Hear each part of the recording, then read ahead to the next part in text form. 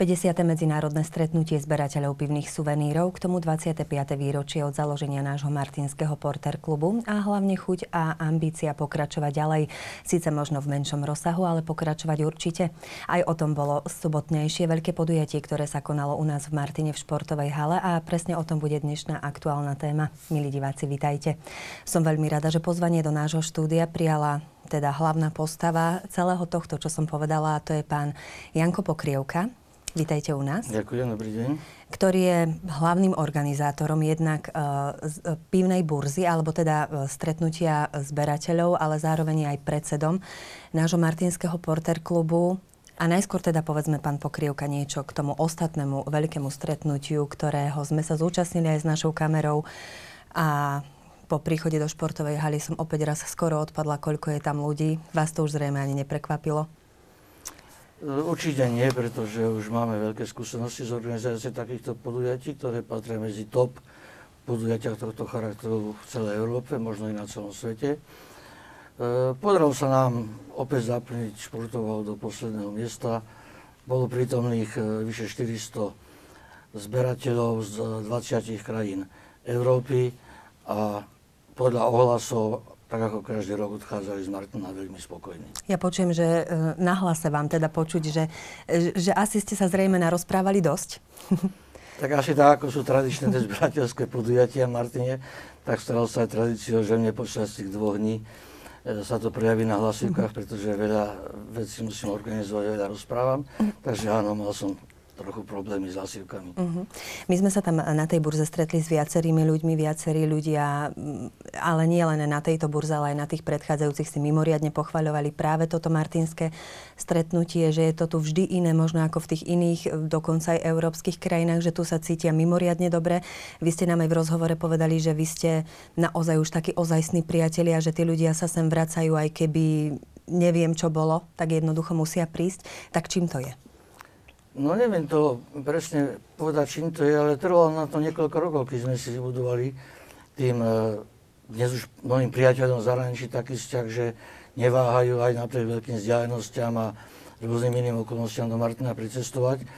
Asi sa odlišíme v tom, že tie naše podujatia nie sú len o niekoľko hodinovom zberateľskom stretnutí, že robíme to vlastne už od piatka, od večera do soboty, do popoludnia, takže sú to de facto dva zberateľské dni pre nich.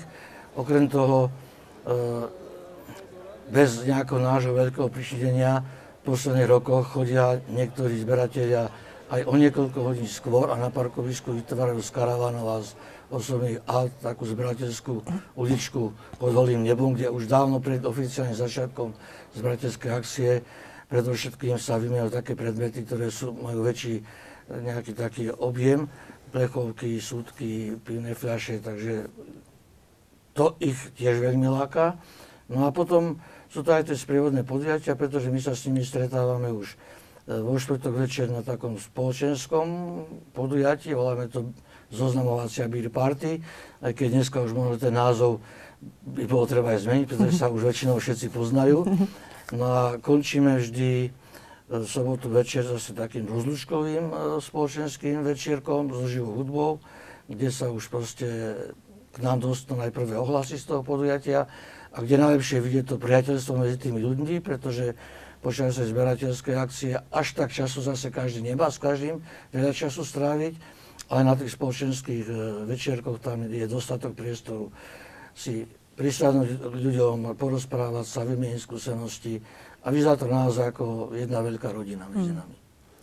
Ehm, títo ľudia sem prídu na niekoľko dní, ako hovoríme, sú tu dva alebo tri dní. My sa tam na takýchto stretnutiach vašich e, s našou kamerou zdržíme naozaj niekoľko minút, e, alebo teda povedzme, že možno hodinku, ale človek si zrejme ani nevie predstaviť, e, ako dlho trvá, kým sa to podarí zorganizovať. Ja si to ani neviem predstaviť, že v čom všetkom to spočíva. No práve toto je ten problém, ktorý neustále riešime, že máte pravdu, keď niekto príde na to podujatie, tak vidí všetko pripravené perfektne, precízne, e, stoly označené, rozložené, e, catering zabezpečený, všetko, čo s tým súvisí, ale e, ťažko niekto, kto není pri tom, pochopí, ako dlho, ako komplikovane trvá tá príprava toho podujatia, pretože to nie sú len posledné 2-3 dní. Mm. To sa podujatie sa pripravuje možno spoločným predstihom, keď treba objednať priestory, ubytovanie pre ľudí, kde treba pozvánky pripraviť, kde treba propagáciu spraviť, či už e,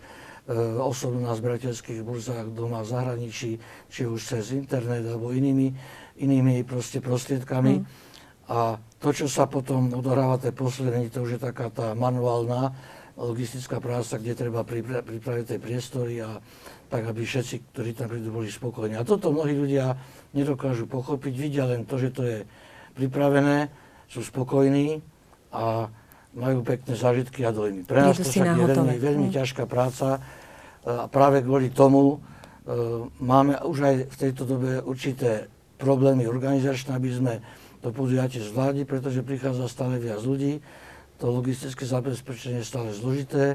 Každý rok sa niečo zmení. Keby, keby bola taká situácia, že každý rok to ide podľa nejakých rovnakých pravidel, tak možno by to nebolo až také mm. komplikované, ale život prináša každý rok nejaké zmeny a s tými sa musíme vysporiadať, ale navonok takmer nikto nevie, že sme zapasili s nejakými problémami. Mm. To je to podstatné. Nakoniec to nám povedal aj jeden z vašich členov, ktorý, ktorý nám prezradil, že na tej burze fantastické stretnutie vyšlo na výbornú, ale že sa aj tak najviac teší na to, keď už bude športová hala vyprázdnená, keď už tam nebude ani, ani jeden jediný stôl a vtedy si povie, že to dopadlo dobre. Takže zrejme o tom to je. Áno, pretože pre nás momentálne v tejto dobe najväčší problém sú stoly, pretože treba pripraviť stoly pre 300 žiadateľov, lebo niektorí majú dva stoly, tak uh-huh. ne, nemôžem tvrdiť, že to je pre 300 ľudí, pre 300 žiadateľov, že 300 stolov tam musí byť tak či tak.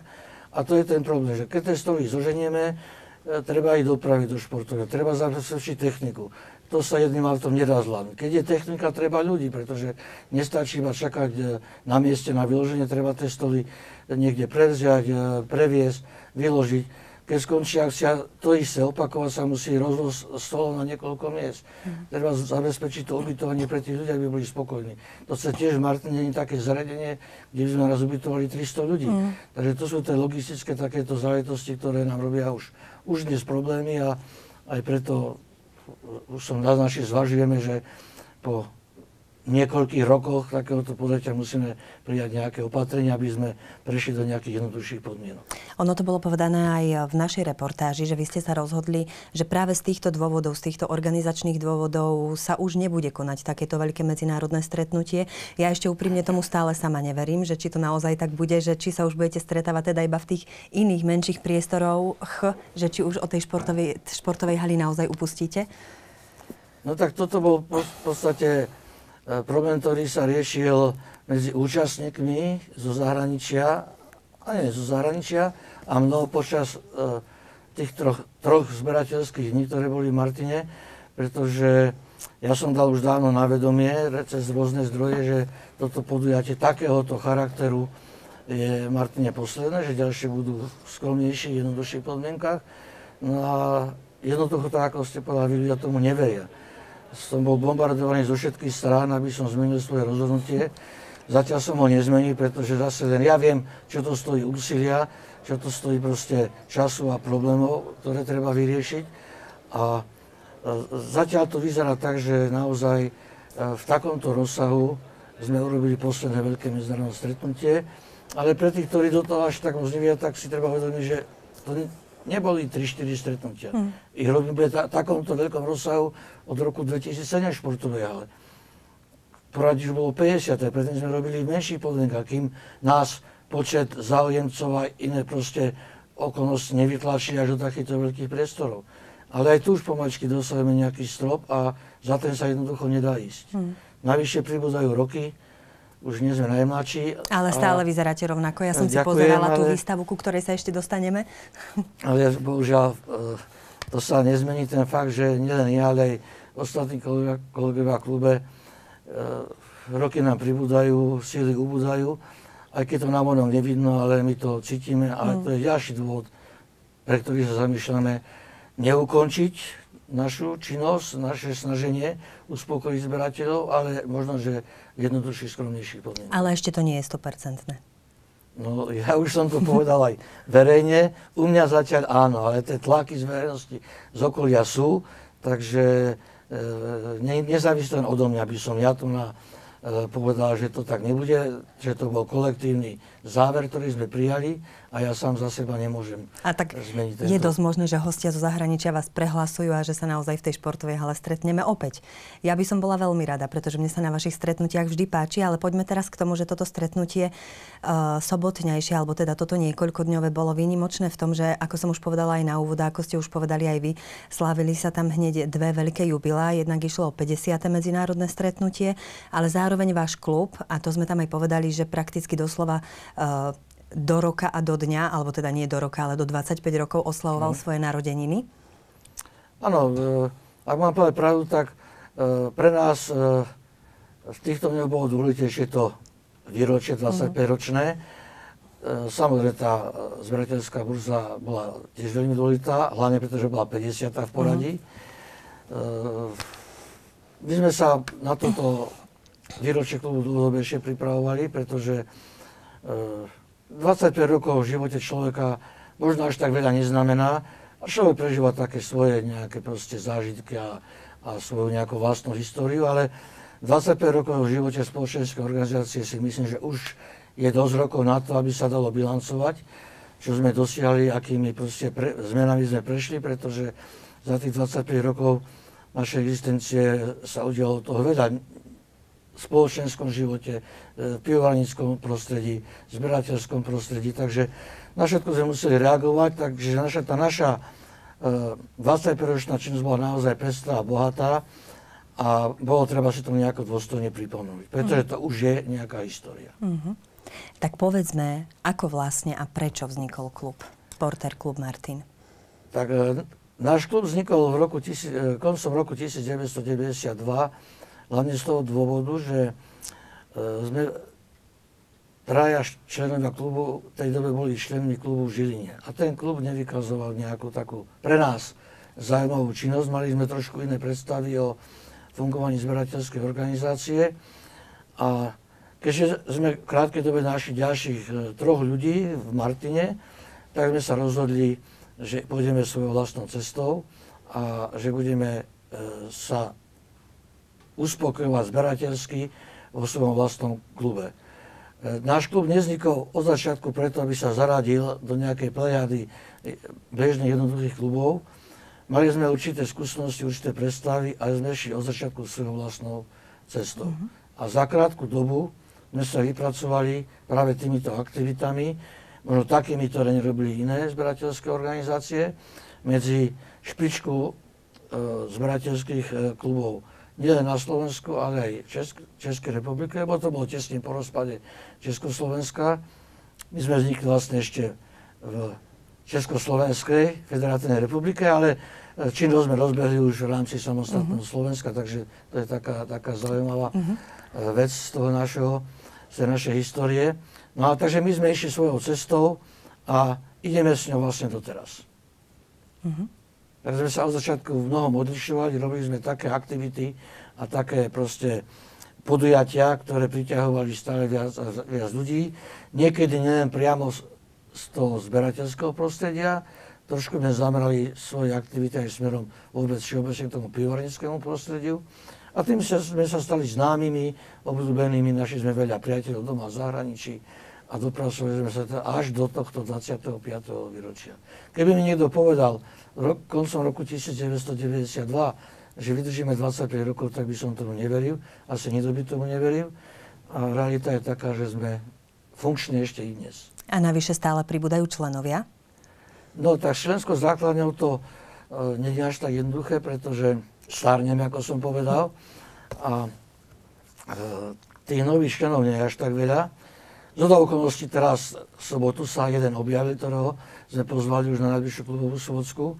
Ale pravda je taká, že e, mali sme aj viac členov, dnes evidujeme 19 členov v klube aktívnych, ale našim cieľom dneska nie je mať obrovskú členskú mm-hmm. základňu, pretože existuje na Slovensku viacej zberateľských organizácií, činnosť zastrešie Slovenská asociácia histórie pivovarníctva, ktorá poskytuje pomoc tým individuálnym zberateľom. Takže nie je cieľom mať neviem, 30, 40, 50 členov, čo by možno nebol problém, keby sme upravili stanovy a otvorili dvere zberateľom zo širšieho okolia. Uh-huh. Ale máme také dosť prísnejšie stanovy, kde chceme, aby členmi klubu boli predovšetkým zberatelia z Martina blízkeho okolia. Uh-huh. A čo to znamená aktívni členovia? No takí, ktorí sa budú zúčastňovať e, klubových schôzok. Ja viem, že nemôže každý byť na každej, ale aby aspoň raz začal na tej klubové schôdzke boli, uh-huh. ale ktorí budú vždy po ruke, keď bude treba organizovať akcie, aby boli akcie schopní na zavolanie telefonické, mailové, aby pomáhali zabezpečovať rôzne podujatia, aby cestovali na zberateľské akcie aj mimo e, Martina, aby sa zúčastňovali zajazdov, ktoré organizujeme, aby pomáhali napríklad pri tej výstave, ktorú sme organizovali. Čiže to je tá aktivita, ktorú chceme vidieť a to bohužiaľ s členami, ktorí by boli z dialnejších miest. By to bolo ťažké. Oni by si zaplatili členské príspevky, ale to by Aktivita by ostala na vás. To by nám nejako uh-huh. My sme sa na tej burze stretli s jedným eh, z vašich členov, ktorý nám prezradil, že on je najstarší člen, pokiaľ sa nemýlim, tak mal 75 rokov. Pán Židek. Áno, a uh, ten najmladší má koľko rokov?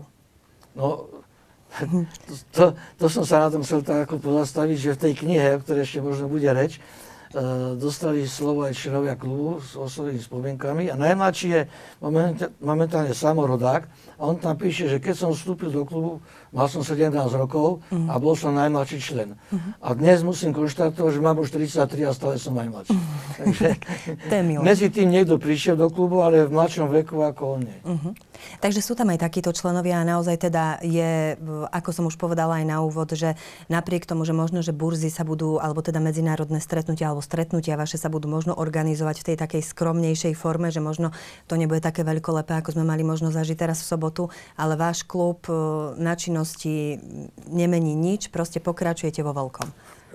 Keď mám povedať pravdu, tak Porter klub ako organizácia je moja srdcová záležitosť, vymyslel som ho, založil som ho, E, veľa tých aktivít išlo cez mňa z mojej hlavy, takže e, nemám dôvod e, ukončiť činnosť Porter klubu. Uh-huh. Klub bude pokračovať do činnosti ďalej.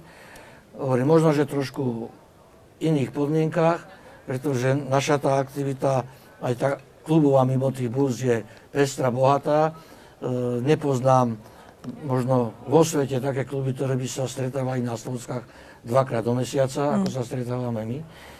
Takže možno, že prejdeme nejakým trošku nejakej inej, uh, inému spôsobu činnosti, ale klub naďalej bude funkčný a bude aj naďalej organizovať počas roka dve uh, stretnutia zberateľské. Budú vždy medzinárodné, si myslím, to sa nedá tomu zabrániť, pretože dnes je taká situácia, že to, čo sme videli cez víkend športové hale, tak to je najväčšie podujatie tohto druhu na Slovensku a možno aj Českej republike.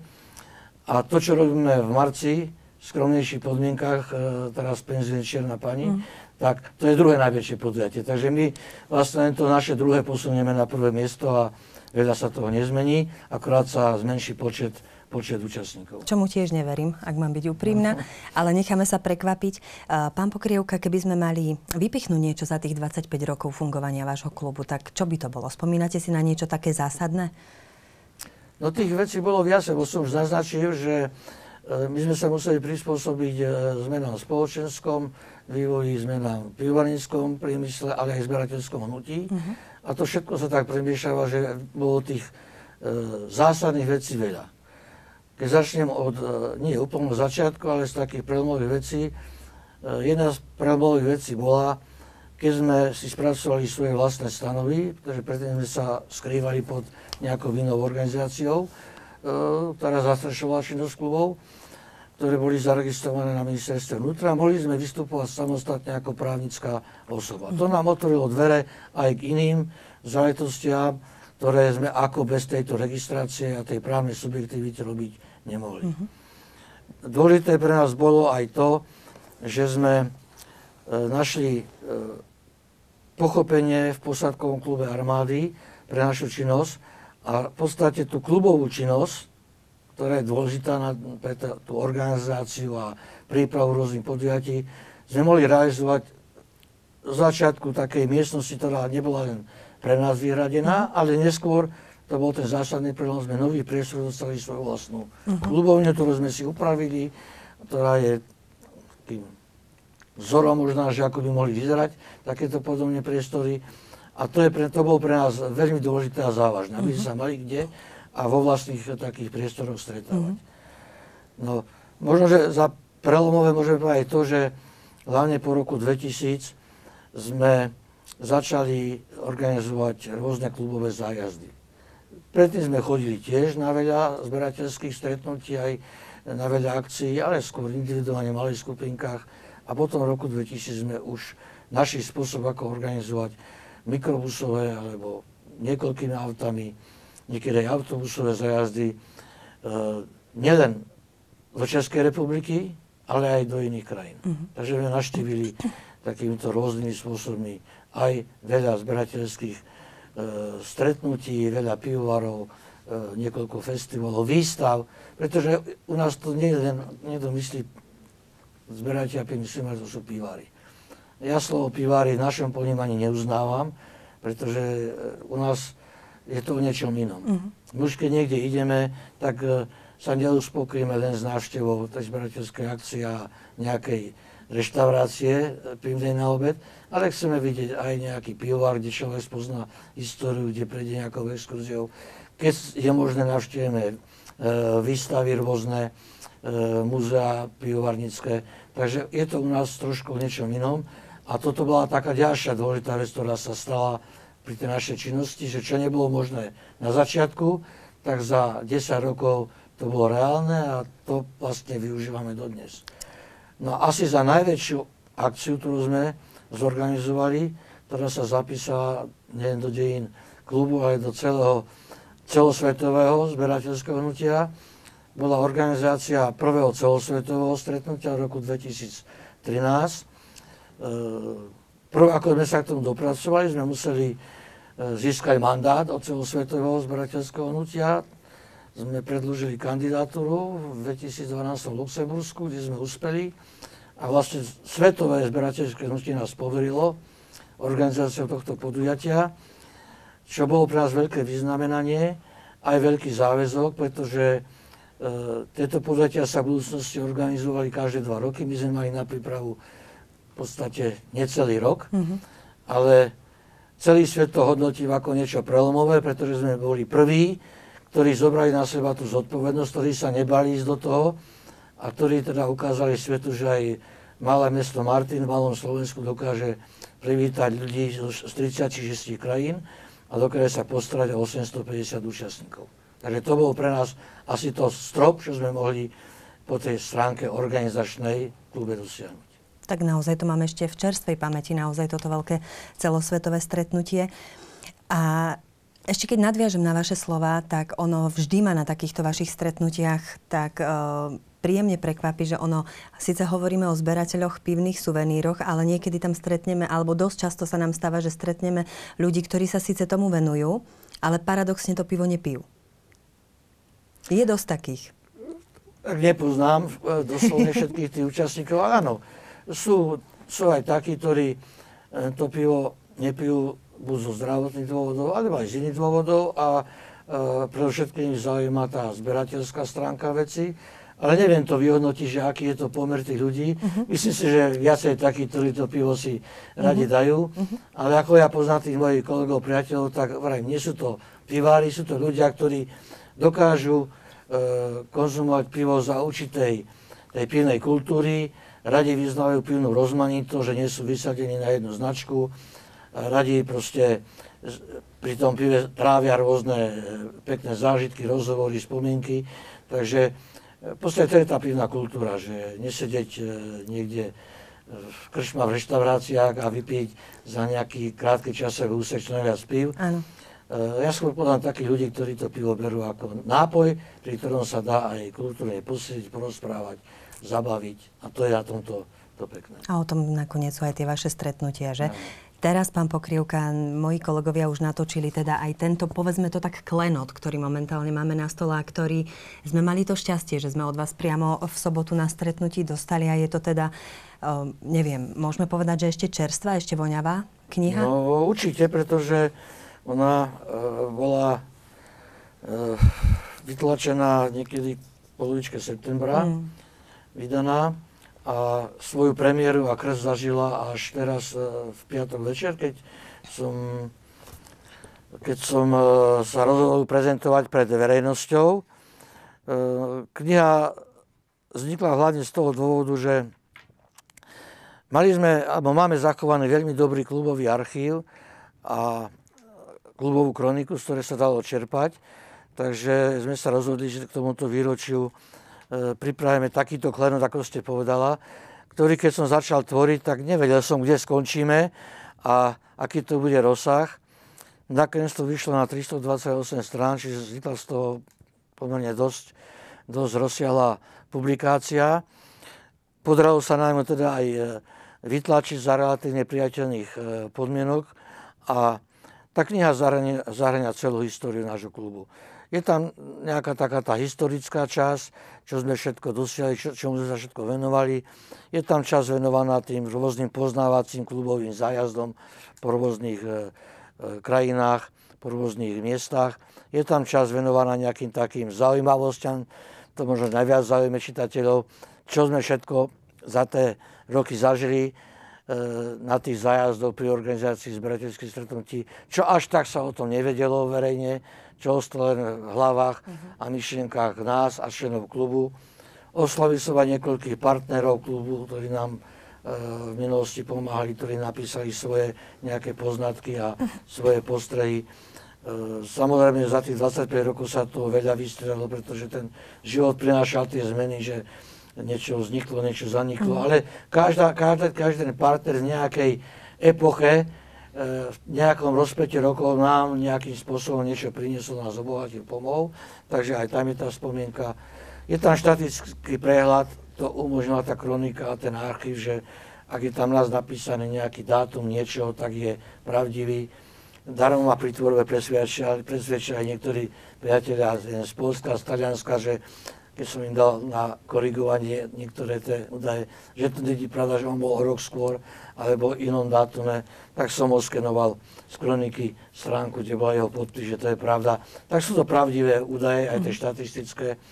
No a v poslednej časti sú také zachované dokumentačné niektoré dokumenty, ktoré, ktoré proste nám pripomínajú nejaké tie diplomy, ocenenia, mhm. nejaké proste ten mandát na to celosvetové stretnutie také proste dokumenty, ktoré sú zachované a ktoré sa tam dali uverejniť. Uh-huh.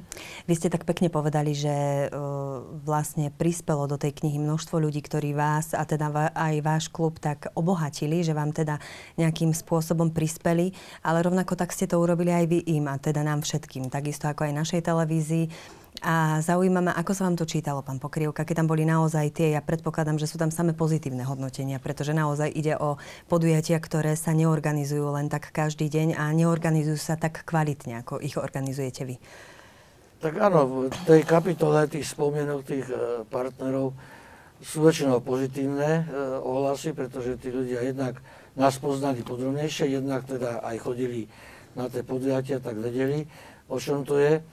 Takže sú, sú to pozitívne ohlasy a potešilo e, ma to samozrejme, pretože e, za niekoľko rokov si človek možno nespomenie, kto sa akým spôsobom pričinil o tú bohatú a rôznorodú činnosť klubu a tie knihy to ostali zachované aj pre ďalšie generácie. Mm. Takže určite to má, má pre nás pozitívny prínos a som rád, že mnoho tých ľudí malo takéto pozitívne ohlasy. A keď napríklad, keď spomeniem, som oslovil jedného priateľa v Bulharsku, ktorý pred niekoľkými rokmi nás oslovil o pomoc, požiadal, ako sa začať venovať takémuto mm-hmm. zberateľskému hobby, ako organizovať zberateľskú činnosť v Bulharsku, tak tam napísal, že áno, dnes po rokov môžem povedať, že Portrait Club mi otvorí oči, od nich som sa naučil, ako to robiť, akým spôsobom organizovať podujatia, keď nás bolo vtedy 5, dneska nás je 100. E, iný príklad e, bol aj tu teraz e, môj priateľ z Moskvy, Vlačamov. Poznal som ešte ako mladého človeka a on ma od začiatku doteraz, aj tej knihe končí tým, nazýva, že som jeho učiteľom. Hmm. Že odo mňa sa naučil, ako organizovať klubovú činnosť, ako organizovať zberateľské podujatia a všetko, čo sa do, dalo, preniesol do činnosti Moskovského klubu zberateľov.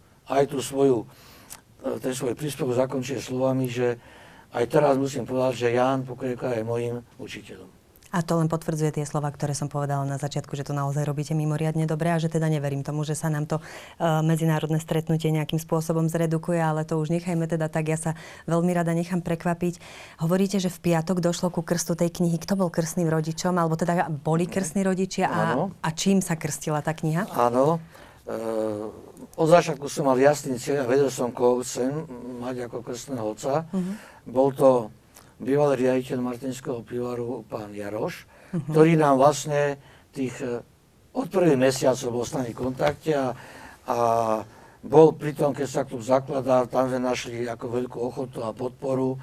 Aj ten názov Porter vlastne bol tak nejako prekonultovaný, lebo to Porter vlastne znamená, že sme prezali značku naj, najznámejšieho a najsilnejšieho martinského piva, čo dnes mnoho ľudí E, nevie si predstaviť, prečo Porter. Takže pán Jaroš bol jeden, je, u mňa jediný adept, ktorý mal tak nejaké také vysostné právo tú knihu pokrstiť. Uh-huh. Aj keď dneska už je proste s neho starší pán, tak prijal pozvanie, prišiel a bol teda medzi nami a on vykonal ten akt krstu knihy, uviezol ju do života. No a...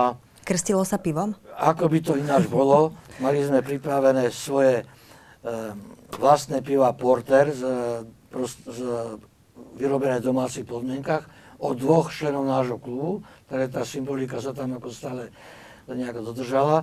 No a pán Jaroš pokrstil tú knihu vlastne pivom Porter, uh-huh. klubovým pivom Porter. A čo jej želal do toho života, do toho čitateľského sveta? Tak on predovšetkým e, vyzdvihol skutočnosť, že e, je rád, že bol pri tom zrode klubu a tiež, že teda sám si v tej dobe nevedel predstaviť, ako dlho to bude fungovať. A keď teraz vidí, lebo on ešte na takom veľkom podujatí nebol, že kam sme sa dopracovali, že sme už nejaký iný level dosiahli, hm. tak uh, tej knihe poprial, no predovšetkým veľa čitateľov, uh, vyslovili presvedčenie, že verí, že tá kniha teda bude zaujímať aj nejaké ďalšie generácie, ktoré nezažili toto, pretože je taká trochu načasová, dá sa ju prečítať aj za niekoľko rokov. Mm. No a zaželal klubu, aby sme vydržali ešte raz toľko, čo teda možno bude reálne, ale neviem, či so všetkými tradičnými členmi, no ale e, vyslovil veľkú spokojnosť, nadšenie, prekvapenie a aj táto kniha vlastne, že e, je takou nostalgickou spomienkou vlastne aj na tú značku Porter, ktorá sa vyrábala v minulosti v Martinskom pivore. Mm-hmm. Veľmi zaujímavou, okrem teda vašo, vašej knihy, tak veľmi zaujímavou bola aj výstava, ktorá bola teda priamo na tom stretnutí, ktorá naozaj mapovala celú históriu uh, od vzniku až teda po súčasnosť vášho klubu, ale čo mi nedá sa neopýtať, pán Pokrievka, je tento váš krásny, ja neviem, ako to mám nazvať, lebo mne to evokuje stále kroj, naozaj máme tam tie ľudové prvky, tak ma zaujíma, že toto bol koho nápad, lebo všetci ste ho tam mali. No tak bol to nápad môj, ako väčšina vecí, ale dlhšiu dobu sme e, hľadali, čo vlastne použijeme k tomuto výročiu ako nové oblečenie klubové, uh-huh. pretože my sme sa rozhodli v januári na výročnej schôdzi, že určite do toho oktobra niečo vymyslíme. Medzi tým bolo svetové stretnutie ďalšie v Polsku Ticha, tam sme mali iné oblečenie priamo uh-huh. k tomu podujatiu, ale v tej dobe sa už pracovalo aj na tomto. Rozhodli sme sa pre e, takú nejakú športovú, športové oblečenie, uh-huh a našli sme firmu, ktorá ponúka rôzne typy športového oblečenia, športových dresov cez takéto oblečenie pre fanúšikov až po mikiny a iné proste druhy športového oblečenia. E, v prvom kole som vybral tri dosť podobné uh-huh. druhy tohto oblečenia z ktorou si v klube vybrali na klube Svojské práve toto, kde uh-huh. e, naša predstava bola, že musí tam byť štátny znak, pretože sme známe aj zahraničí, chodíme do cudzí na podujatia. Malo by to mať nejakú kombináciu tých farieb e, slovenských. No a keď tam do toho zapadla aj tá čišmanská mozaika, e, z ktorou sa vlastne prezentovali naši športovci na olympijských hrách v Rio. A keďže to bolo k dispozícii, tak sme neváhali a e, išli sme do tohto riešenia. A výborné riešenie naozaj musím uznať. A pristalo vám to tam všetkým, naozaj každému jednému členovi. Povedzme ešte niečo k tej výstavke, pán Pokrievka. Čo sa týka výstavy, e, mali sme trošku iné predstavy na začiatku, lebo my sme v januári na výročnej schôzi prijali nejaké e, opatrenia, zásady, čo chceme dosiahnuť toho výročia. Ja som pôvodne chcel, aby sa výstava konala tak ako v minulosti dvakrát v Slovenskom národnom múzeu, v múzeu Andreja Kmeťa. No ale ak mám povedať pravdu, tak nejak bol som, urobil som pokus už niekedy v januári, ale pochopil som, že nejaké načenia, nejaká cesta tadia taká priama nevedie mm-hmm. a že mohlo by to dopadnúť čeliako, tak som od začiatku potom rozmýšľal ako ďalej a prišli sme na to, že možno bude pekné urobiť aj priamo športok, ale takúto výstavu len z fotografií a z dokumentov. Pokiaľ by tá výstava bola múzeu, tak by bola o niečom inom. Bola by to expozícia z rôznych e, proste zberateľských predmetov, suvenírov a popri tom aj toto by tam bolo ale nakoniec sme išli do tejto varianty. No tiež to nebolo jednoduché, pretože e, kde ju inštalovať, aby to bolo pútavé, zaujímavé, tak našli sme aj na to spôsob, no a e, podarilo sa nám teda e, vďaka tomu archívu dobrému, fotografickému, tej kronike, e, každý rok zmapovať na jeden panel hm. a tak vzniklo teda 25 panelov, kde každý rok predstavoval nejaké také, nie všetko, ale tie naj, najdôležitejšie akcie, ktoré v tom roku sa udiali. Ja si myslím, že tá výstava e, bola estetická, že ľudí zaujala. Ako som si všimol, tak ľudia chodili na ňu pozerať. Mnohí sa nepoznali spred 20 rokov na tých fotografiách, ktoré sme vyťali z archívu, takže boli aj úsmevné príhody, že kto to je a bol to ten, ktorý sa pýtal na to. Mm-hmm. Takže e, myslím si, že splnila účel. E,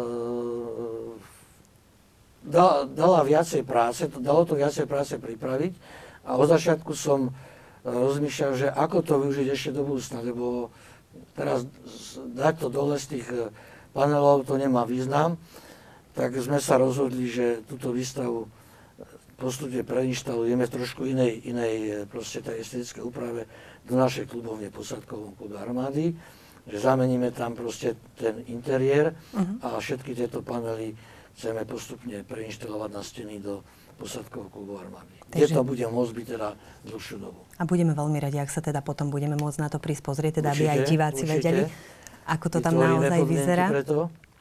Pán Pokrivka, ja myslím, že sme povedali asi všetko, čo sme povedať mali, aj keď s vami by sa dalo rozprávať ešte veľmi dlho. Ale niekedy menej je viac, pretože my sa stretneme opäť. Ja sa budem veľmi tešiť, či už to bude na tom čo stále verím na tom veľkom stretnutí v športovej hale a pokiaľ, alebo pokiaľ to nebude, tak budem sa veľmi tešiť, nech to bude v akýchkoľvek menších uh, podmienkach, pretože určite to bude. Ja vám prajem, aby teda váš klub dosiahol ešte viac ako len ďalšiu 25 ročnicu, ale naozaj, aby ste našli mnohých nasledovateľov, ktorí budú túto skvelú vašu myšlienku šíriť ďalej. Hlavne nech vám všetkým uh, slúži zdravíčko, teda aby sme sa mohli stretávať aj na tých ďalších stretnutiach, ako som už povedala. Prajem vám všetko dobré a ďakujem za to, že ste si našli cestu aj k nám do štúdia. A ja ďakujem, že som sa mohol takto verejne vyjadriť našej činnosti a verím, že to nie je naposledy, že ešte sa nájdú možnosti, ako budeme toto naše zberateľské hnutia, toto naše hobby prezentovať aj na verejnosti. A ja sa už teraz na to veľmi teším. Ďakujem ešte raz veľmi pekne a vám, milí diváci, ďakujeme za to, že ste nasledovali a dovidenia pri niektorej z ďalších aktuálnych tém.